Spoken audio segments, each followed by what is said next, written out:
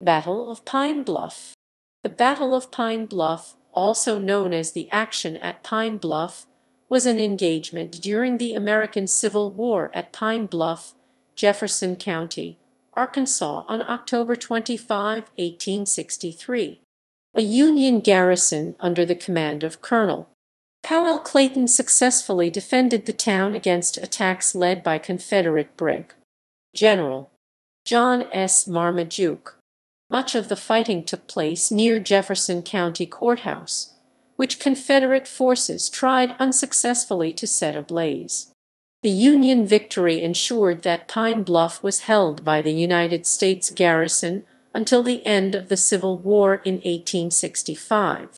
Background After the capture of Little Rock, Arkansas, U.S. forces occupied several towns along the Arkansas River. Confederate Brig. General John S. Marmaduke decided to test their strength at Pine Bluff.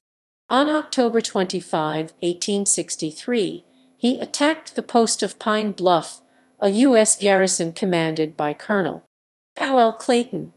Battle.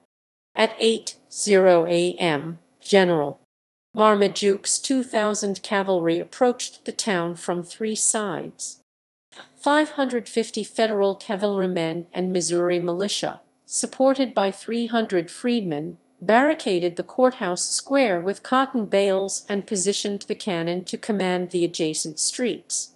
Marmaduke's division made several attacks upon the square, then attempted to set the county courthouse on fire. They were unsuccessful and withdrew to Princeton, Arkansas.